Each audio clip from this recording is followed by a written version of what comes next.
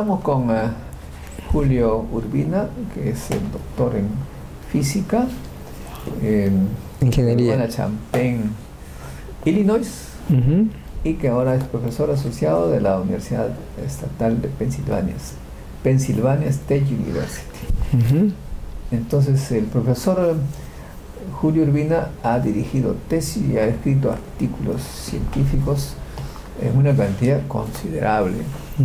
Él es egresado de la Universidad de Ingeniería como ingeniero electrónico eh, y bueno, conoce entonces eh, la naturaleza nuestra en lo que respecta a la pereza de escribir, pero tuvo que desperezarse, porque en Estados Unidos, Estados Unidos hay una una frase que da miedo, que es publish or perish. O sea, o publicas o mueres. ¿no?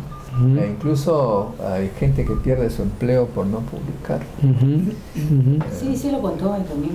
Así es. Entonces nosotros acá humildemente queremos eh, dar algunos tips. Ya he hablado sobre tesis, cómo hacer tesis, etcétera, que en el Perú relativamente no es tan sencillo, pero no es tan complicado.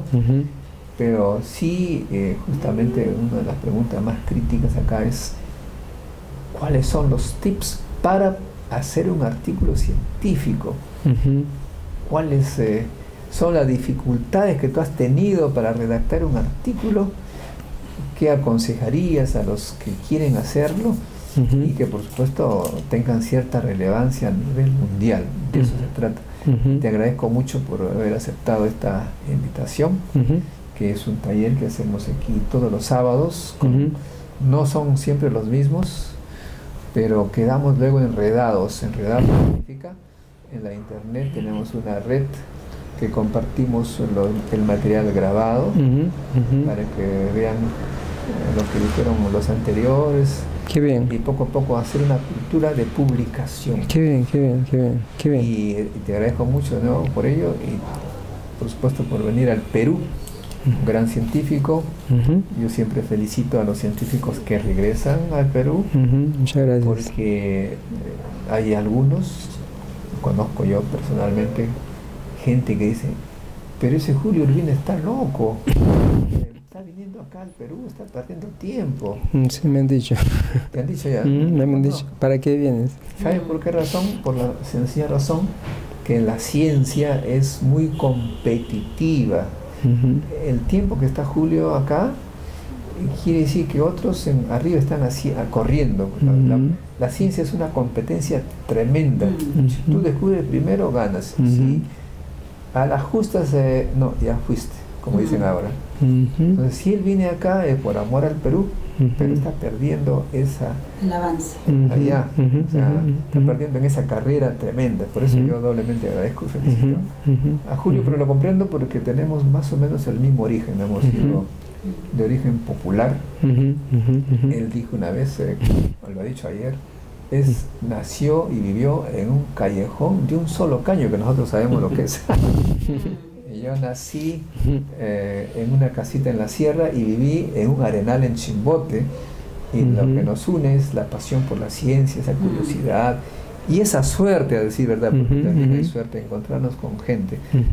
Pero el gran problema que tenemos al final de nuestra carrera es cómo publicar. Entonces, quiero que nos des algunas pautas para estos señores que están interesados y por qué es importante publicar. Claro.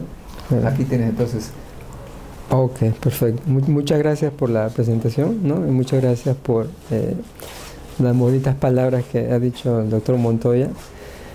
Bueno, este, empezaré por el, digamos, el proceso de escribir, ¿no? El proceso de escribir eh, es largo, ¿no? Eh, y requiere mucha formación, ¿no? Mucha inversión y obviamente es un proceso que inicia, pues, desde la educación inicial, ¿no? O sea, eh, obviamente que cuando uno se da cuenta, eh, uno estudia un grado profesional, está en, una situación distinta, ¿no?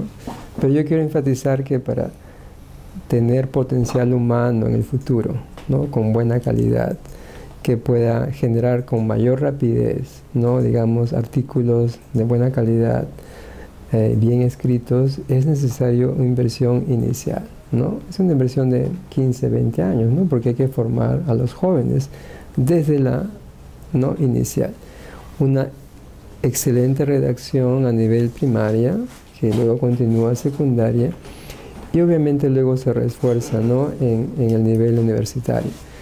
Pero además, y esto es algo que eh, lo, estoy diciendo en todas partes, yo soy, ahorita estoy gracias visitando el Perú gracias al programa de intercambio del US Scholar Fulbright, ¿no? que me permite venir acá al Perú en colaboración con la Comisión Fulbright de Perú para estar como profesor visitante por un semestre. ¿no?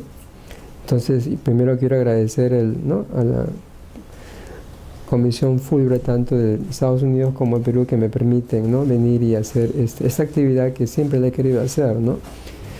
Entonces, eh, y eso relaciona con algo fundamental en la pregunta inicial, ¿no? De para publicar, eh, ¿en qué idioma publicamos?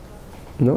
Entonces, hoy en día, pues, el idioma universal, ¿no? Eh, es el idioma inglés, ¿no? Entonces, eh, obviamente hay que invertir ¿no? en, digamos, en un país bilingüe, diría yo. ¿no? Tenemos que ser un país bilingüe si de verdad queremos generar este potencial humano y no preocuparnos al final de la carrera. ¿no?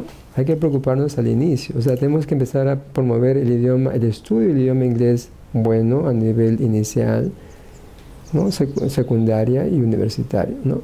Porque escribir bien eh, toma tiempo, no se aprende pues este, en un año o unos meses, ¿no? Raras excepciones, este, la gente lo puede aprender con una rapidez exponencial, ¿no? Escribir bien toma tiempo. ¿Cómo uno escribe bien? Hay que leer mucho. Para escribir también hay que leer mucho, ¿no? Y en algún momento uno tiene que definir su propio estilo, ¿no? Entonces, estos son comentarios generales, ¿no? Digamos, de cómo, cómo tratar de establecer eh, esta costumbre, ¿no? A nivel general. Ahora, más específicamente, una vez que uno ya ha estudiado la carrera y asumamos que uno ha desarrollado estas cualidades, ¿no? Entonces, la pregunta es ahora cómo, cómo escribo, ¿no? Porque hay, hay formas de escribir, ¿no? La parte narrativa, en la parte de novelas, ficción, es, es una forma de escribir, es un estilo de escribir, ¿no? En científicamente es más directo, es más puntual, ¿no? No se da muchas vueltas, ¿no? Entonces, uno de los problemas que yo personalmente he tenido, por, por, tal vez por el idioma español, ¿no? Y acá mi esposa presente es testigo de, de, de, de esa... De esa de esa, eh, digamos, este, costumbre que yo tenía, es que yo tiendo a escribir en inglés oraciones bien largas. ¿no? En español uno escribe pues oraciones largas y ya cuando me, me revisa me dice, pero tú no paras, tú te das líneas y líneas y líneas. ¿Y dónde, dónde está la pausa? Me dice, ¿no? Porque en inglés pues este es más, es distinto, como uno... ¿Dónde está la carnecita? ¿Dónde está la... ¿No?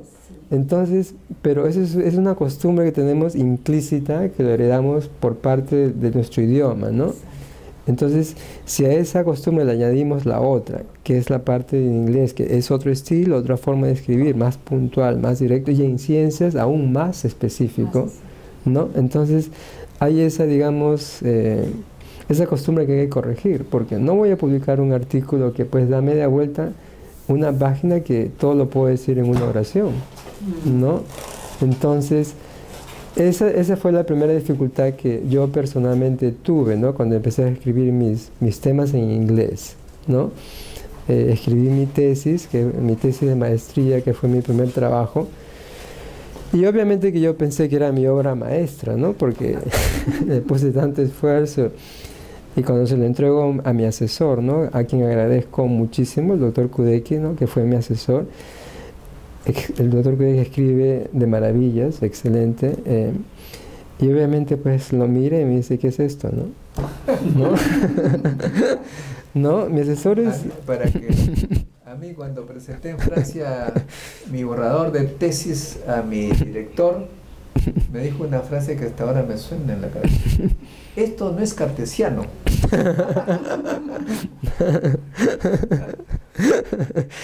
Bueno, entonces este, yo le dije, pero ¿cómo que qué es esto? Todavía me atrevo a reclamarle, ¿no?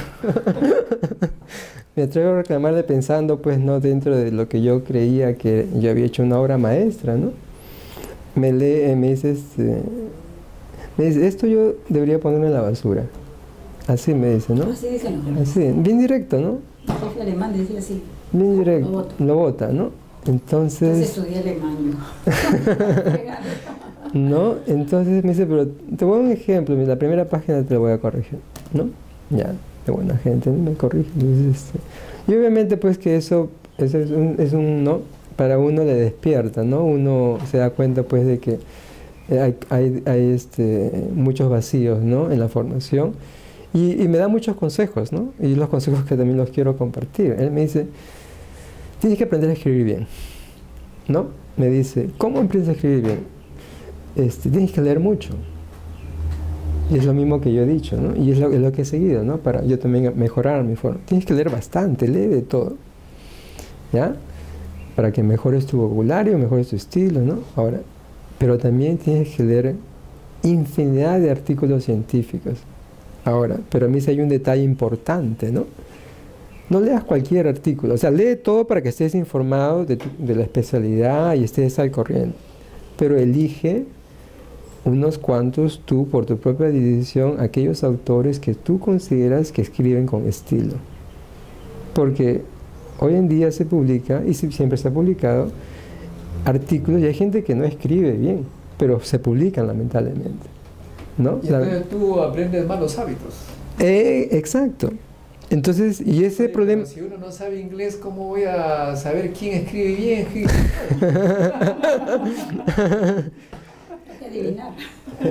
Hay. Hay, este, o sea, uno, uno lleva cursos, ¿no? O sea, uno lleva cursos y bueno, hay un proceso, ¿no? Que también este, nos ayudan a, a- a- a- a- a desarrollar es- esas habilidades.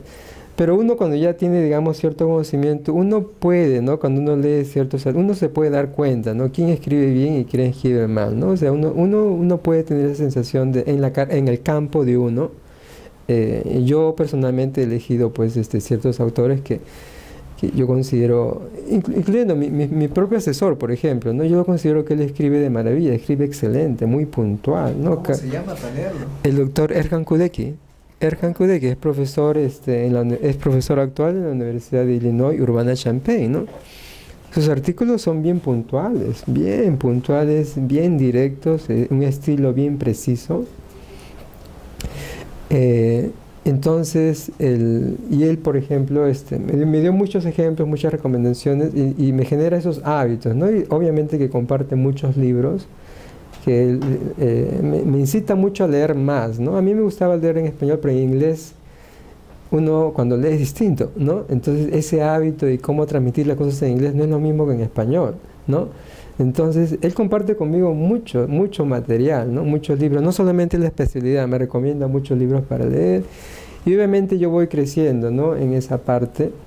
Entonces un consejo rápido que yo puedo dar es identificar, ¿no? Aquellos autores que escriben bien dentro de la especialidad de uno, ¿no?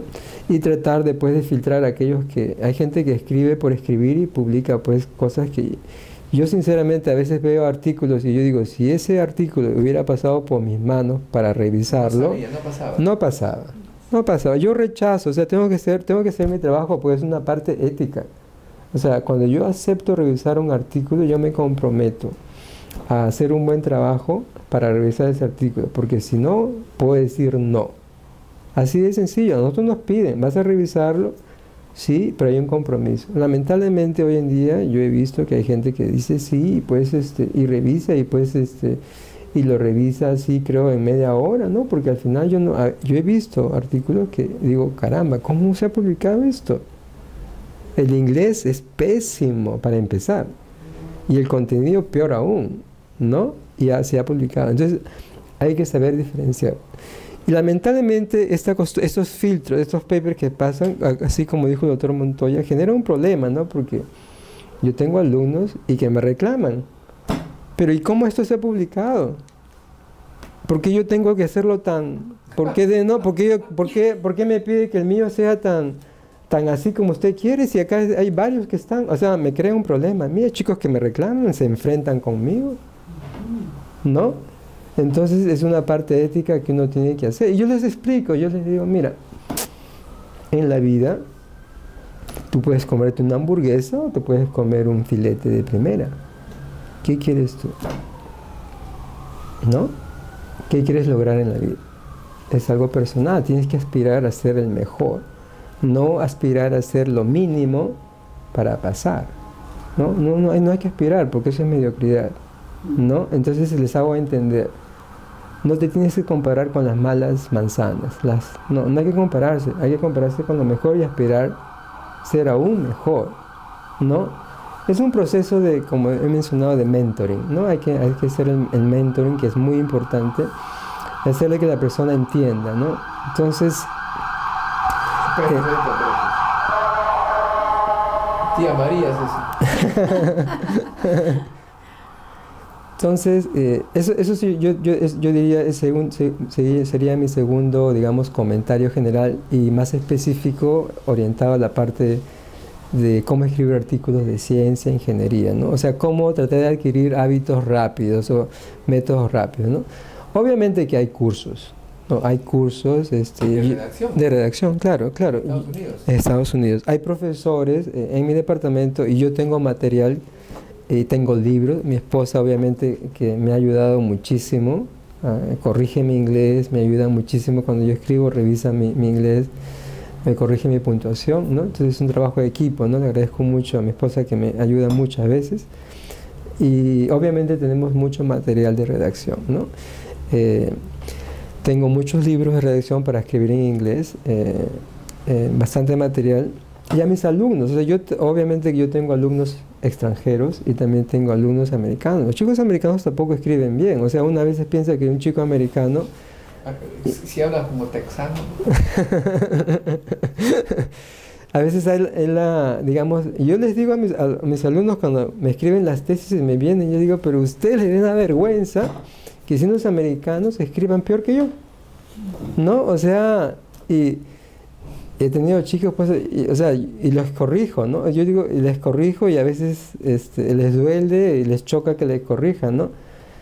Y yo digo, pero es que no es así. un peruano viene a corregir? Eh, sí, pues, eh, recuerdas las tesis que te he mencionado, ¿no? De que ella ha visto los, cómo he corregido página tras páginas corregidas, ¿no? Y son chicos americanos, ¿no?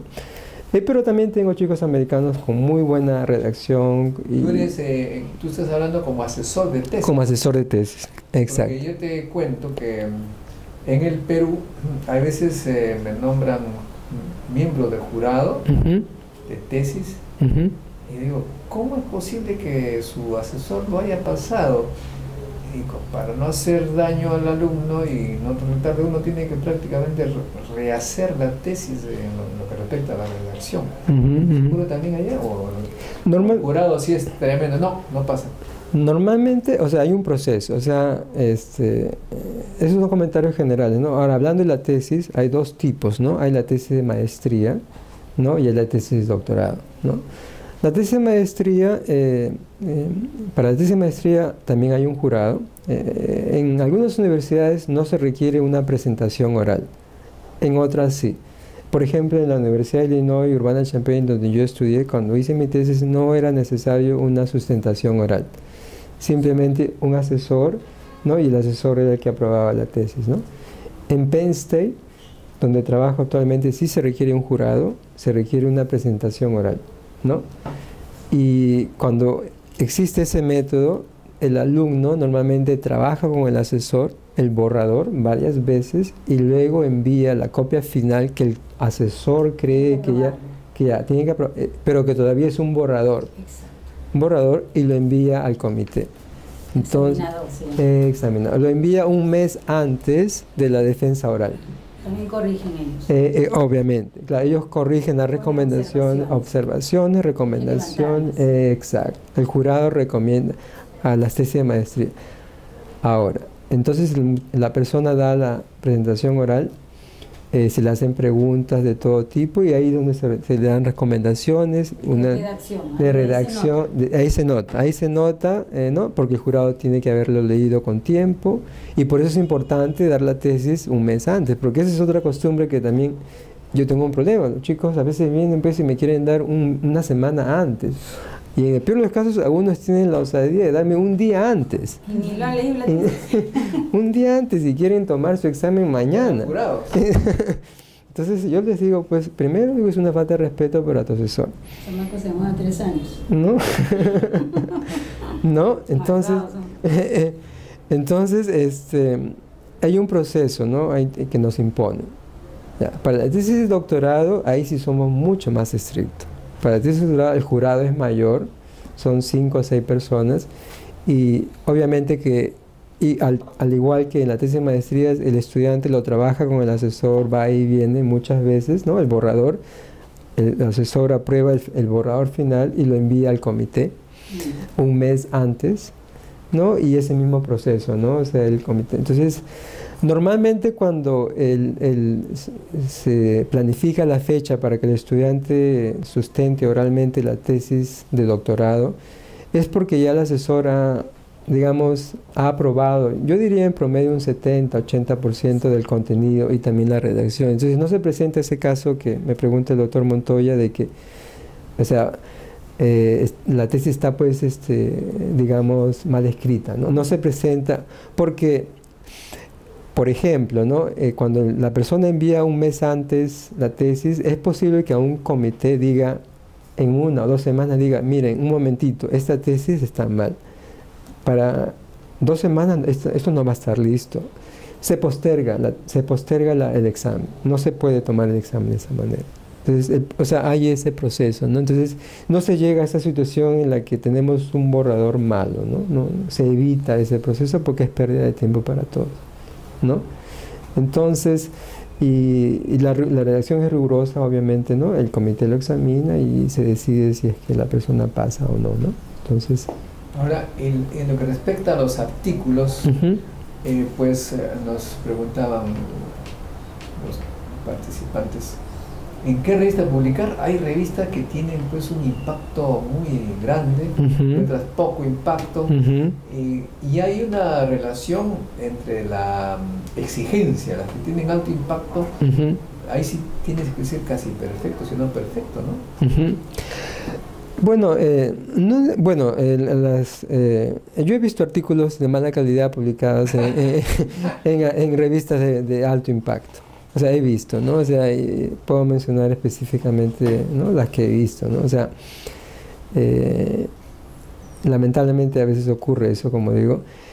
Pero sí, es más difícil publicar en revistas de alto impacto, aunque ahora se está, digamos, eh, obviamente tratando de mejorar, ¿no? De, que no, se, no ocurran esos errores, pero es difícil, es mejor, es más prestigio publicar en la revista de mayor impacto.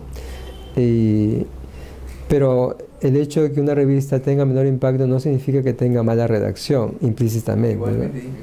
Igual, igual es exigente, igual de buena calidad. ¿no? El hecho de que tenga menor impacto este, es algo, digamos, relativo, ¿no? Pues es un proceso estadístico, ¿no? Donde, por ejemplo, las revistas de mayor impacto, ¿por qué es que se le llama a veces de mayor impacto? Pues son, son artículos cortos, son artículos de dos, tres páginas porque quieren dar a conocer inmediatamente el resultado, ¿no? Entonces, eh, normalmente no son artículos grandes, ¿no?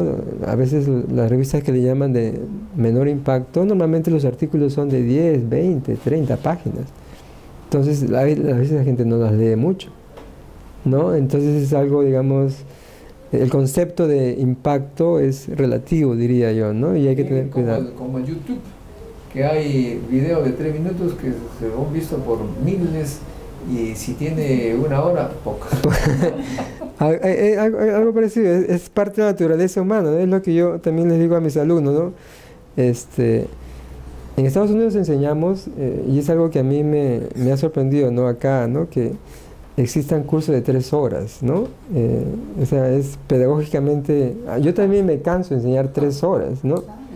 ¿No? Estadísticamente eh, en pedagogía se ha demostrado, pues en la investigación que se hace, que el ser humano pone atención los 5, 10, 15 minutos de una clase. Después ya pues este, la, la atención decae, ¿no?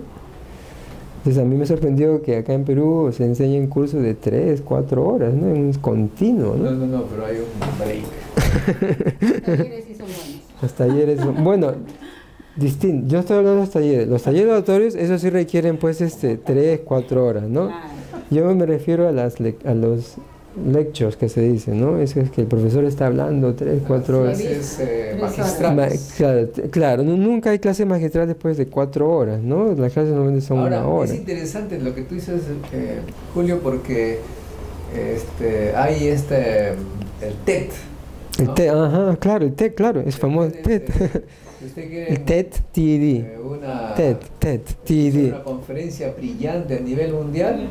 TED. TED y ahí pues 15 minutos. Sí, 15 minutos. Ella, Los mejores expositores del mundo.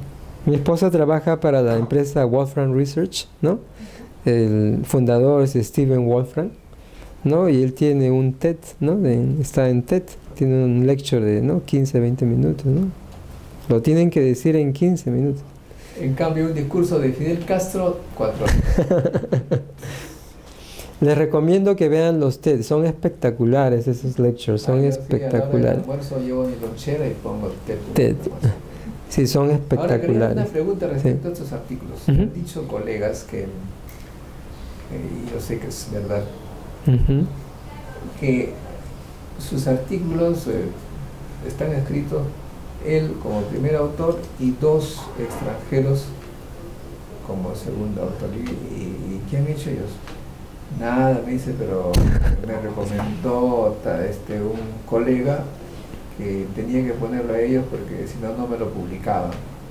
Porque son de institutos prestigiosos, pero han corregido si quieren una coma. Nada, nada, solamente puso su nombre. ¿Eso es posible?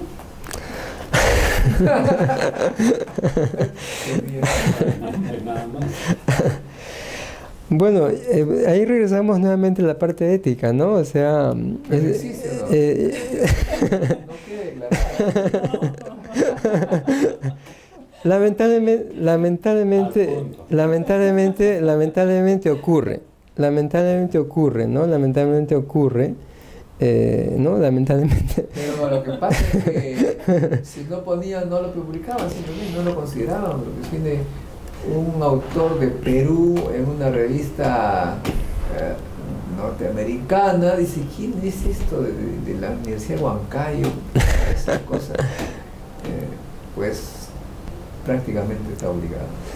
Lamentablemente ocurre, ¿no? O sea, este, e- es lo que menciona el doctor Montoya. Yo he visto también que hay gente que, por ejemplo, ¿no? Este, no ha hecho nada, ¿no? Y se pone pues como tercer, cuarto autor, ¿no? Entonces ahí es donde viene la parte ética, ¿no? De uno, ¿no? Uno tiene, porque a veces por figurar o por tener 60, 80 o 100 publicaciones, pues este, uno se trata de meter por aquí, por allá, y entonces ahí viene la parte ética, ¿no? Uno como profesional, uno entiende, ¿no? De verdad esta persona es un experto, un superhombre, pues para un superhombre para estar en todos lados, ¿no? Entonces eso se ve obvio, ¿no? Es obvio, ¿no? La naturaleza humana, pues, con muy, muy raras excepciones, este, va a tener pues esas cualidades. Entonces, eh, lamentablemente el sistema, digamos por la presión mismo que tal vez este existe, eh, ocurren esas anomalías, ¿no? Pero eh, entonces para eso está la parte ética, ¿no? En la que uno tiene que decidir, ¿no? Yo- justamente antes de venir para acá al Perú, tengo una colega, ¿no? Que también es de la UNI, de Ingeniería Industrial, la doctora Verónica Villena. Ella es profesora en Penn State también, en, eh, en marketing y negocios. Y no, conversábamos justamente el mismo tema, ¿no? Y me decía, yo no publico, me dice, yo no, no, pone- no pongo mi nombre en un tema en que yo he hecho un trabajo, me. Por una sencilla razón, me dice que suponga que me, me encuentre con alguien y me pregunte sobre algo específico, ¿no? En tal página, en tal párrafo, ¿no? Y yo no sé. Entonces ahí viene la parte ética de uno, ¿no? Entonces, ¿cómo uno, eh, ¿no? Uno tiene que escribir en lo que uno contribuye, ¿no? Entonces, ahora, eh, el rango de quién es primer autor, segundo autor, eso es este, definido en colaboración, obviamente, ¿no? Yo normalmente dejo que mis alumnos sean primer autor, ¿no? Eso es lo que, la filosofía que, en algunos casos soy primer autor, pero normalmente dejo que mis alumnos sean primer autor porque les ayuda a ellos a crecer profesionalmente, ¿no? Eh, trato de hacerles este, que ellos crezcan, se desarrollen, ¿no? Entonces, Es un proceso de ética, yo diría al final, ¿no? Esas anomalías se presentan, pero también creo que es la parte ética la que debemos desarrollar. como anécdota, a mí me pasó una cosa totalmente sorprendente, no sé si lo conté, pero este, una vez simulé un experimento de otro, lo simulé, no era mi trabajo, en esa época estaba muy divertido haciendo simulación, y obtuve resultados de la simulación descabellados. Yo dije, caray, yo creo que me he hecho mal mi simulación. Revisé, más tiempo me pasé revisando que haciendo la simulación. Pero me di cuenta que no había error, entonces dije, ¿por qué ha salido así? Encontré la explicación. recién lo presento a los señores que iban a hacer el experimento. Mm. Y obtuvieron lo que yo había obtenido en la simulación. Mm, mm, pero cuando vieron por primera vez, antes de hacer el experimento, se rieron de mi Como dirían acá, ve a freír eh, monos en sartén de palo. Pero cuando obtuvieron lo que yo,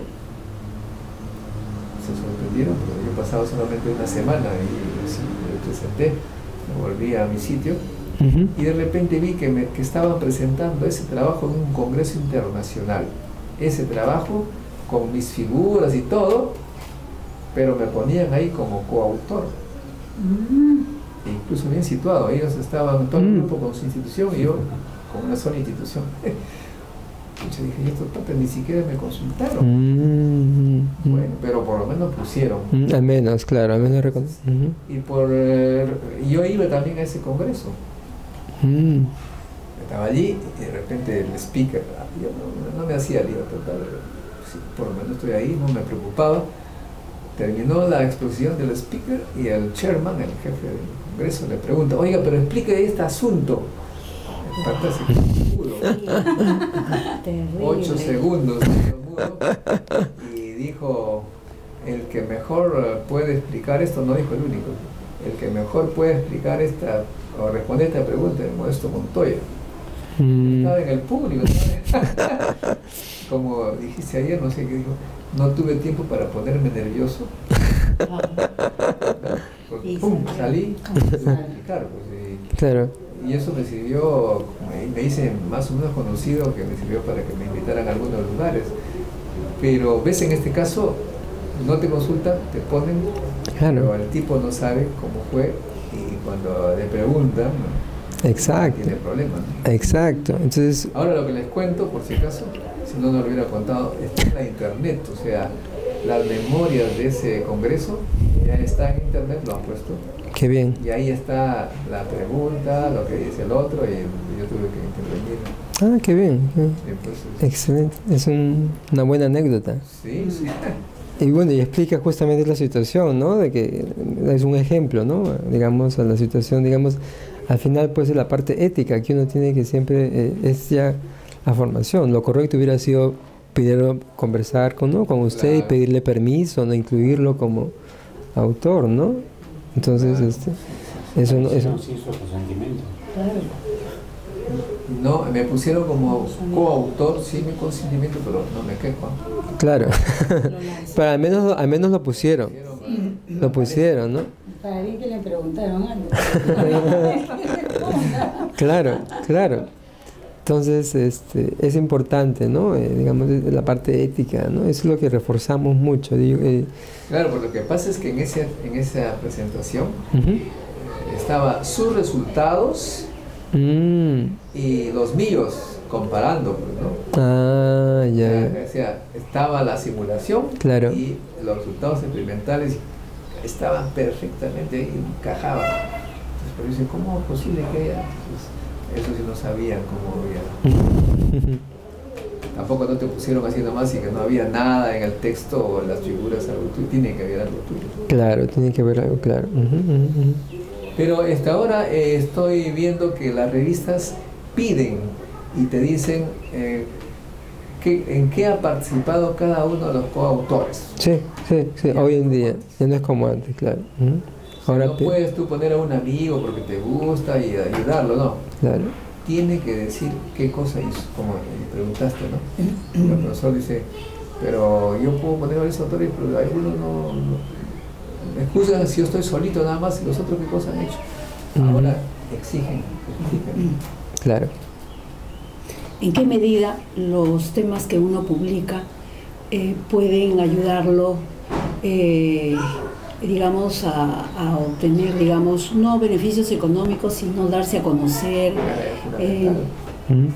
Claro, es, es- es importante, ¿no? Como dije ayer que estaba hablando con los alumnos de la UNI, es importante publicar más allá de la tesis, ¿no? O sea, la tesis es un buen documento que queda como un registro en la universidad. Hoy en día, claro, las tesis son públicas, ¿no? Se pueden hacer públicas, pero eh, la- las- los artículos científicos o publicaciones en otras especialidades eh, son importantes porque quedan un registro, o sea, la- y queda como un registro ya marcado para siempre, ¿no? O sea, lo van a leer pues generaciones y generaciones, ¿no? Y eso eh, es un récord, ¿no?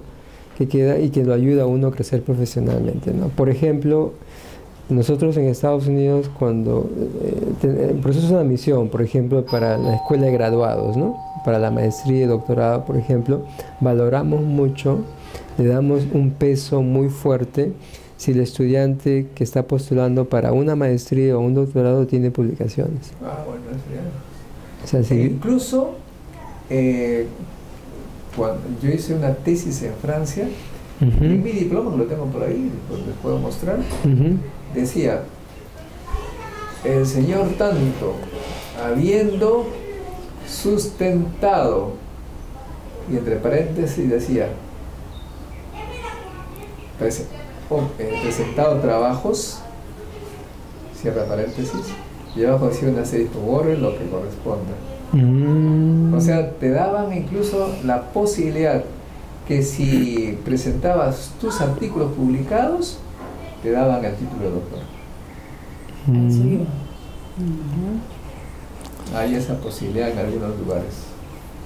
O sea, no necesitas sustentar, bueno, sí sustentas, pero... eh, En Inglaterra es así. en Inglaterra es Sí, así, en claro. Inglaterra es así. Ujú, ujú. Todo es a base de publicaciones en revistas internacionales y tienes tu título. Y ya tiene automáticamente. Sí. Tengo un familiar que está Tienes las dos posibilidades, ¿no? te dan las dos posibilidades. En biología se va a África, se viene acá a Perú, Pero yo me... so- investiga todo. Claro, eso- claro, porque o sea, el proceso de tesis y hacer investigación es muy importante, ¿no? Muy, muy importante. A mí me ha sorprendido, ¿no? Ayer descubrir que acá se removió el requisito de hacer tesis, ¿no? O sea, eso me ha sorprendido, ¿no? Que la- Fue Fuji- Fujimori. Cursitos y ya tenías el grado. Ese es un retroceso, ¿no? En mi opinión, a la educación. Es un retroceso total, ¿no? Claro, porque si, no, si no se hubiera eliminado esa necesidad, esa obligación, tal vez no estaríamos en esta situación Tan atrasados. eh, tan atrasados, hubiéramos Culturalmente. Culturalmente hemos La tesis te retrocedido. ayuda a crecer. Claro. A analizar, a trabajar, a investigar, a pensar, ¿no? Exacto. Ahora, eh, a mí sorpre- hemos retrocedido en ese lado, ¿no? Es- en la tesis es un requerimiento, a mí me hizo pensar mucho cuando yo hice mi tesis de, para título profesional, ¿no? Fue un trabajo muy serio, tuve que pensar con una solución, hacer un trabajo serio de investigación, pero eso los forma a uno, ¿no? Eso nos forma. Un año. Claro, claro, ¿no? O sea, entonces es, es- eh, importantísimo, ¿no? Para completar, digamos, aunque la educación siempre, eh, como digo a mis alumnos, nunca, ter- la educación no termina cuando uno eh, termina el título, ¿no? La educación es toda la vida, ¿no? Hoy en día, pues, hay que seguir estudiando y seguir leyendo y nunca parar, ¿no? No termina, pues, con la universidad, ¿no? Es, el proceso de educación es siempre, ¿no? Entonces, y la tesis es un proceso fundamental que nos ayuda a pensar, ¿no? A crear ciertos hábitos, ¿no? Y a mí me ha sorprendido mucho descubrir que eso acá en Perú se, se removió. Espero Porque hasta en la UNA. Sí, hasta en la UNA. trabajaba ya en la industria, Sí, algunos colegas que trabajaban conmigo, Sí. presentaron un trabajo de ahí de, de Sí. la empresa y le dan su título de ingeniero. sí, eso es lo que... En la misma UNI, me quedé asombrada. Dios Porque la La ley ley, lo permite, porque la ley lo Sí, permitía, claro. La ley lo permitía. Entonces, este, bueno. Pero ya terminó. Sí, ya terminó, ya no existe. Eh, a partir de este mes que viene, creo, la droga. estamos los últimos. En la Facultad de Ciencias la UNI aceptan esto que se llama experiencia profesional. Ya, ¿Qué significa eso? Que tú describes lo que has hecho en tu trabajo durante cuatro años, ya te dan Pero eso lo permitía la ley, ahora ya no. Ahora ya no. Me parece muy bien porque, o sea, la tesis es un trabajo serio, ¿no? Hay que em, eh, cuesta tiempo, cuesta dinero, pero es un trabajo, yo pienso, un proceso importantísimo, ¿no? En la formación del profesional, ¿no? Es importantísimo, ¿no? Entonces no, no se debe, debe seguir, ¿no? Entonces, a diferente nivel, obviamente, ¿no? ¿No? Entonces, ¿otra pregunta? Interesante. Ahora, en este proceso de redacción, de elaboración de una tesis, ¿qué autores nos puede recomendar? ¿Qué paso seguir? ¿no? Para hacer una buena... Bueno, hay libros, o sea, hay una, hay una serie de libros que yo les puedo recomendar, se los puedo enviar al doctor Montoya, ¿no? Libros de redacción, ¿no? Obviamente en inglés me estamos hablando, ¿verdad? Exacto. En inglés. Yo le, le voy a enviar este, al doctor Montoya una lista ¿no? de, de libros, eh, digamos, eh, que dan tips, ¿no? Porque hablar de cómo escribir pues es un proceso, ¿no? No, no voy a poder este, conversar a profundidad muchas cosas, ¿no? Pero obviamente que hay libros eh, que yo considero excelentes libros de redacción, ¿no? Se los voy a compartir con el Montoya. Muy buenos libros, ¿eh? Y también hay libros exclusivamente para escribir este, la parte científica, ¿no? Porque el método es distinto, ¿no? Esos libros y esas referencias las puedo compartir con, con el doctor Montoya. Hay un paper de un profesor de Harvard, y que también lo, puedo, lo voy a compartir con el doctor Montoya, que simplifica en cuatro páginas el proceso de cómo escribir un artículo científico. Yo a todos mis alumnos que llegan a mí, la primera entrevista que tengo, sí, se, les doy ese paper. Les doy ese paper, ese paper primero para que lean, ¿no? Es el primer paper, ¿no? Y me empiezan a armar, empiezan a armar las cosas, ¿no? Entonces, ese paper yo lo uso siempre, ¿no? Como referencia, es muy bueno. Y otro material que lo voy a compartir con el doctor Montoya para que lo tengan. ¿no? Profesor entra en nuestro club cerrado de, De locos. de chiflados. Sí. Esto está en inglés, Sí, en Claro. castellano no está. en castellano no. Pones el traductor. Pero le pones al Google y Pero yo puedo, no, pero yo puedo, o sea, si les interesa también aprender en castellano, yo tengo un amigo, un colega que es muy bueno, o sea, es, él es profesor, nos conocemos de colegio, este, y él se especializó en literatura en, en, en la, en la Vía Real. Ya. No sé si corregirá, pero él escribe muy ¿Es bien. literato? Es literato, es profesor. ¿Cómo se llama? Es- se llama es, Jo- José Zavala, José Zavala. Él, él tiene, él tiene su nido, ¿no? En, en Surco, él ayuda a niños, este, ¿no? Ah, igual que nosotros, Sí. científicos. Sí, él, de- él de forma, tiene un nido, forma lo- a los niños, ¿no? Entonces, este, pero él se especializó en literatura, ¿no? En la Universidad de Villarreal. Y entiendo, está haciendo una maestría, porque nunca termina de estudiar. Siempre, somos un grupo que siempre estudiamos, ¿no? Siempre nos gusta aprender, siempre. Yo estoy aprendiendo japonés, por ejemplo, ¿no? Siempre no hablo como mi esposa, que, claro, pero... Oye, escuchamos a Ronaldinho que hablaba con un niño japonés, eh, pero el niño japonés hablaba en italiano. Ah, Y entonces la gente se reía, pero Ronaldinho decía, pero que se ríen, habla muy bien italiano. Eh, por, sí, pues italiano. italiano Ronaldinho, wow. Ha salido en la, ha salido en las noticias de ayer, en la televisión peruana. Sí. Dígame, eh, el profesor José Zavala, Sí. él es el que también Le- redacta artículos. No, él se dedica, no, no, él se dedica simplemente, exclusivamente a enseñar niños, pero él lee mucho, o sea, eh, cuando me preguntaron por tema de redacción, yo, yo- el comentario iba más a, le puedo pedir recomendaciones, ¿no? Porque es, es su área en español, ¿no? Pero él no se dedica a redactar este, tesis o esas cosas, O ¿no? corregir las tesis ya para, para imprimirlas y empastarlas, ¿no? Porque eso piden, que pase por un Sí, redactor. po- revista que ustedes han visto ahí eh, costó como 40 mil soles para publicarlo. Me, ima- debe- me imagino, claro. Tanto porque le pagaron una fortuna al corrector de estilo. O sea que lo que llevan ahí es oro puro. Sí, que es una del gobierno. Hicimos una. Nosotros publicamos la revista ESI Perú Ok, ya. cada seis meses. Ok. Y nos apoyan el que quiere, ¿no? Porque no ya, claro, claro. Y tres números nos, nos apoyó el Centro de Planeamiento Estratégico, pero como era del Estado, contrató corrector de estilo, imprenta y todo lo demás. Para que se, ganan bien. Pero es que es un buen, es, es un trabajazo. Es un trabajo fuerte Ah, corregir. ojo, antes que me olvide, Julio, tú también debes saber eso. Sí.